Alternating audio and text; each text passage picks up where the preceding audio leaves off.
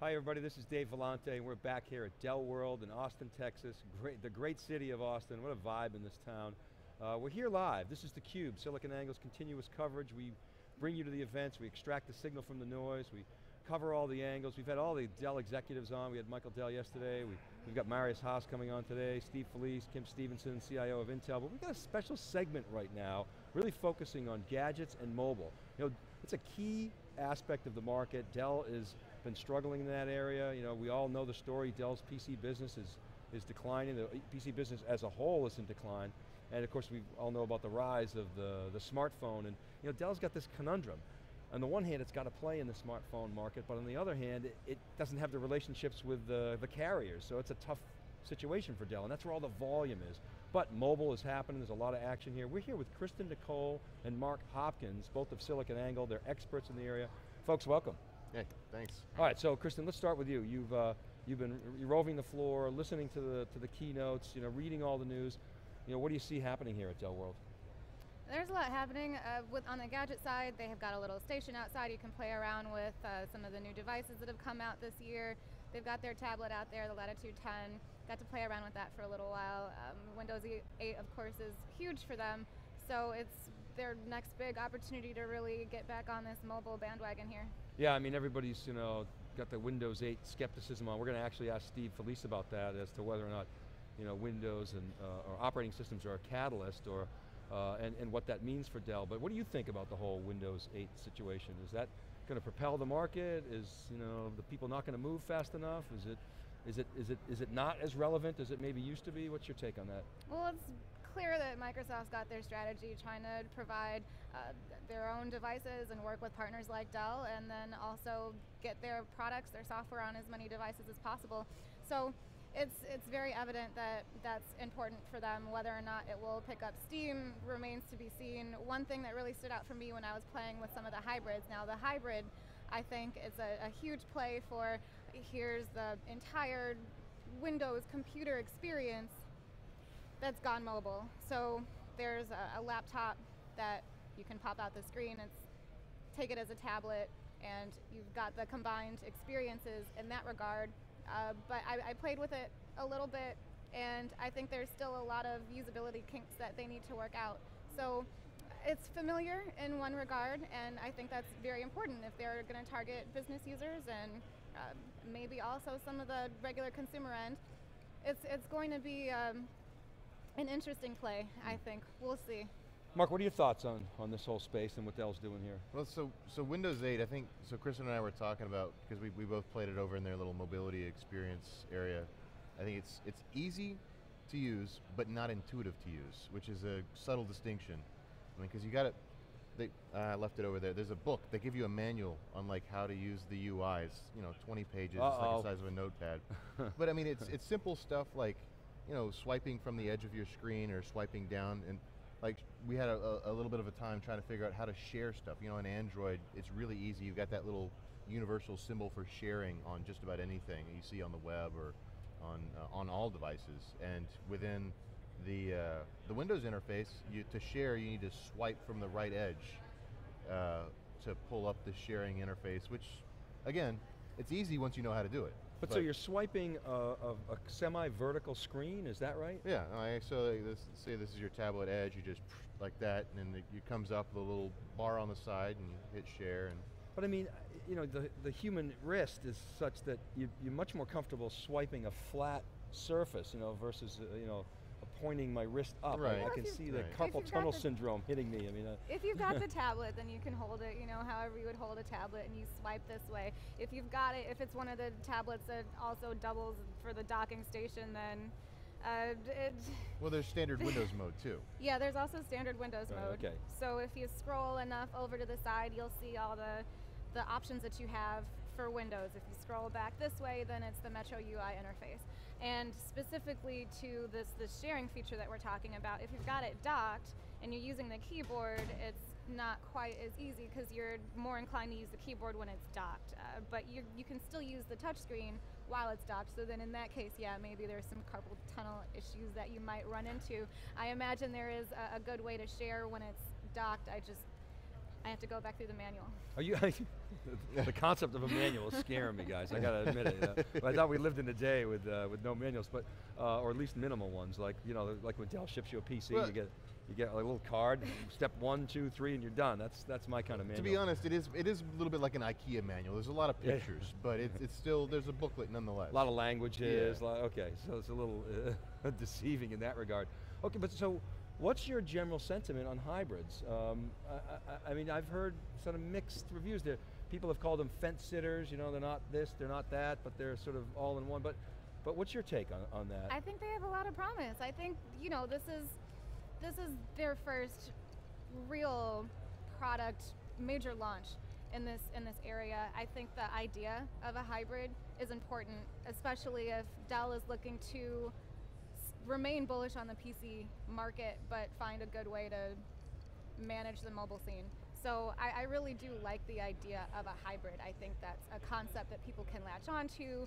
You put the tablet, attach it to this thing, it looks just like a laptop. You'd never know that it's a, a tablet if that's what you need. Um, if you want to take it as a tablet, then take it as a tablet. The, the user experience doesn't change too much. One issue I ran into before I could even play with it was somebody had put the tablet back on the dock upside down and then the lock, the rotate was locked. So I'm trying to use the mouse and the mouse does not work at all if the tablet's upside down and locked. So you, and you have to actually take the tablet back out of the dock, turn the lock thing off, put it back in, flip it, open it, all this stuff. It's I, I think there's several usability kinks that they need to work through to, to really ensure that this is a hybrid that's ready for the masses. Yeah, which they will, no, doubt, no doubt, but the, the 1.0 version's got, like you say, a few warts. Um, okay, well, let's talk a little bit about Android. Um, what are your thoughts on that? I, I mean, um, betting on, on, on Microsoft, obviously, it's been a long time partnership. Uh, some of the management stuff that Dell's doing in the enterprise is, is, is uh, you know, OS uh, agnostic, I like that.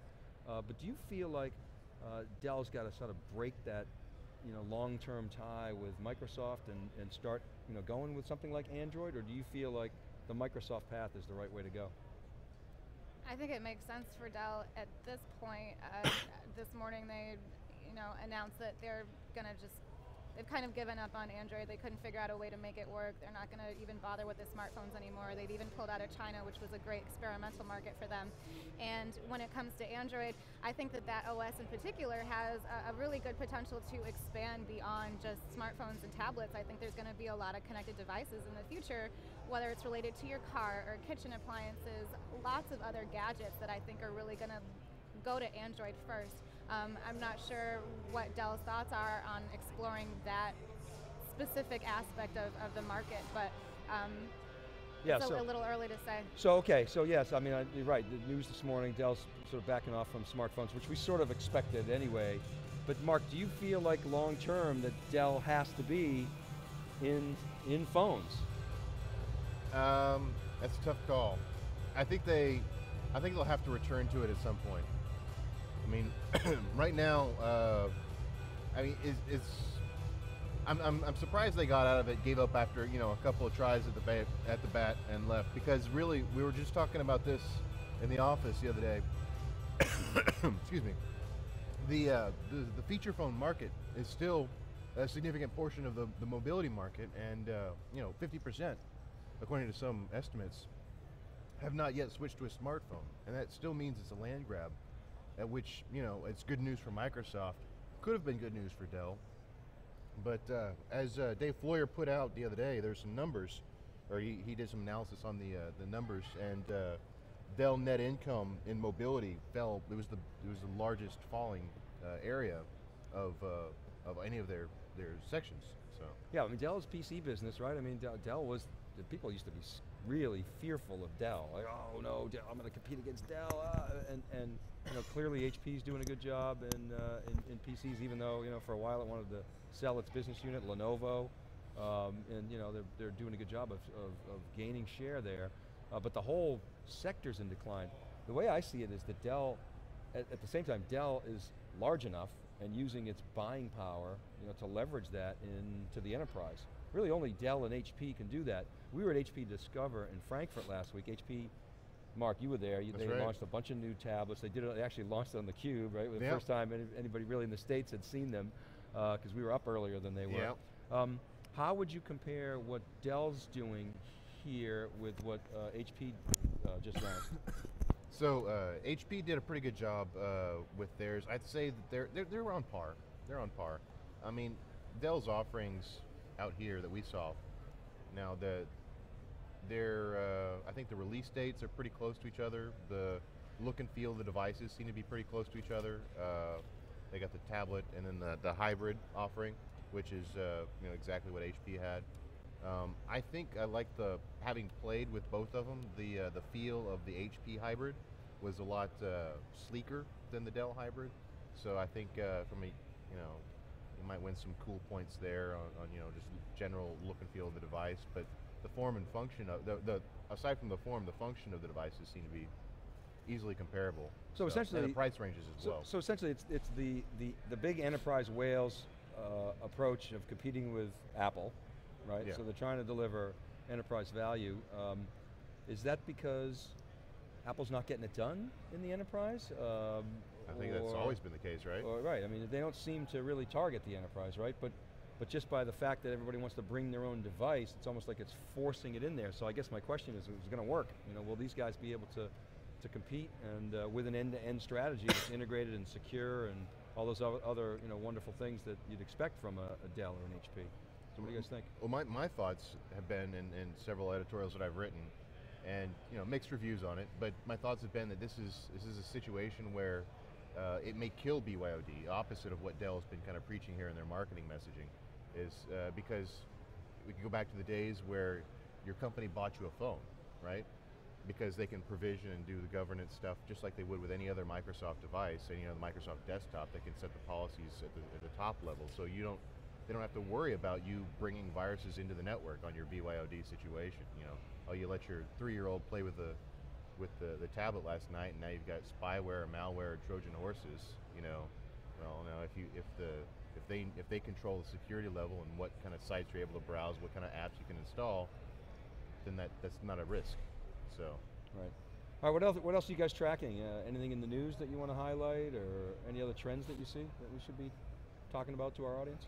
Well, I think the device, the, the all-in-one workstation that Michael Dell revealed during his keynote yesterday, um, I think it's important to note because he specifically outlines this as a device that will be prepped for business as well as entertainment. So it's kind of shifting away from this enterprise-only strategy, really looking to expand back into the consumer market with this one. Um, and I'm, I'm really excited to see what this device is going to be. A little disappointed that they didn't have it here, uh, not revealing any more details. We've talked to a bunch of people on the floor trying to get some information out of them, and, and it's a no-go. Yeah, that was weird, right? I Yeah. mean, Michael, you know, because he's usually very. I mean, he was he, he was very crisp in his presentation, you know. But he he sort of leaked that out. He says, "Hey, we're doing this all in one. We're really excited about it." Then he said, "You won't be able to see that till next year." It was Right. like, oh. Yeah, yeah, wouldn't just even kind tell of us the name of on it. Teasing past it. right, yeah, yeah. we couldn't couldn't get any They, details they, on that there is one. a name of it. Someone knows the name Someone because he was thinking about whether or not he was going to tell Uh-huh. So what do you think it is? I mean, you have any the clue? no, the, the device. It's all in one. You well, he, sho- he showed a picture. Yeah. So there's a picture of this device, and I, if I had known that there were going to be absolutely no more details on it for the rest of this event, I would have snuck a picture of it. And it, it's a workstation. It's for the desktop. It's uh, in line with you know the, the popular Apple computers all in one. Sits on your desk and pop out tablet screen. You can can just take it with you. So that's really all the details we have so far. But the fact that he made a point of saying this was for work and play, this is going to be an entertainment device as well. I think that's really important to note here. Excellent. All right, good.